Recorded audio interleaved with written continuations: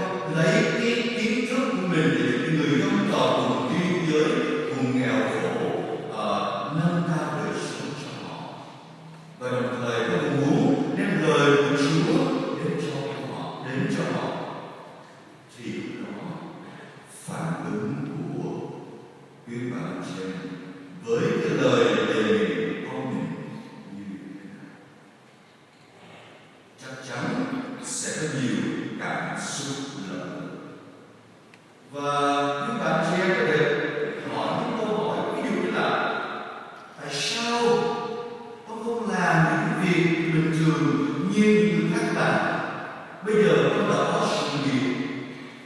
Tại sao con bận rộn lớn là tiếp tục sự nghiệp của con mà về vùng nghèo khổ là cái gì?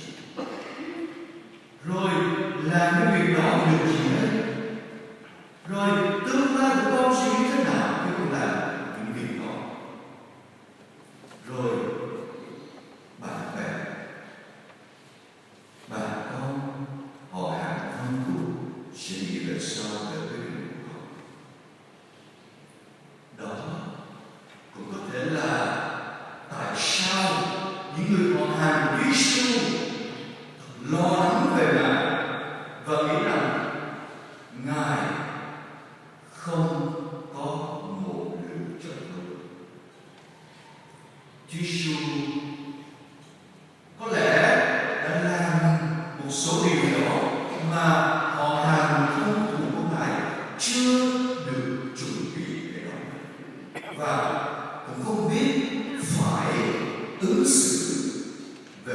vì Chúa Giêsu đã làm như thế này.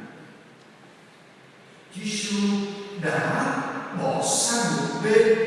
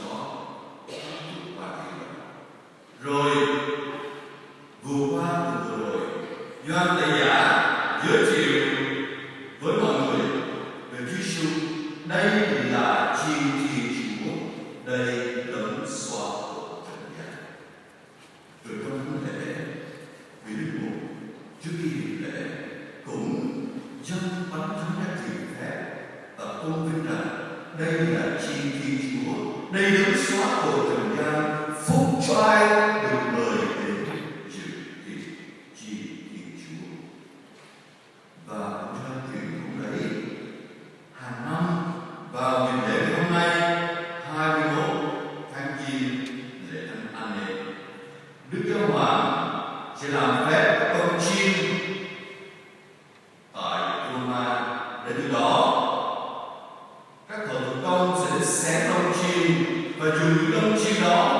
dệt những sợi dây aquarium để trao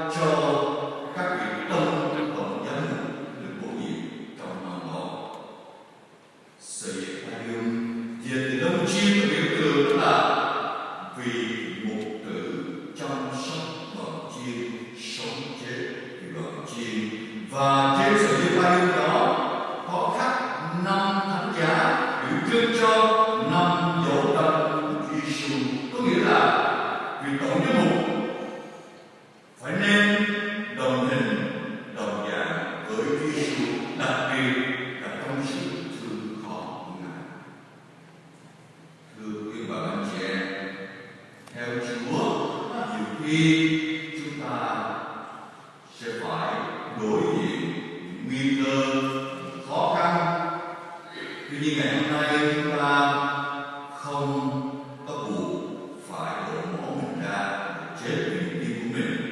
Nhưng mà chúng ta người gọi sống chứng tả cho cái niềm tin của mình qua cái đời sống hàng ngày và tự đạo bằng cách chết cho cái đồ của mình, để cho Chúa Giêsu hàng ngày càng lớn lên trong mỗi người chúng ta. Và thứ hai, sống tròn cái sứ mạng là người Kitô hữu cái sứ mạng mà chúng ta đã nhận, để bắt đầu cái ngày chúng ta được trở thành con của Chúa qua bi tích trường tội xin thánh anh em tiếp tục cầu bầu cho mọi người chúng ta, giúp người chúng ta sống trọn sứ mạng là.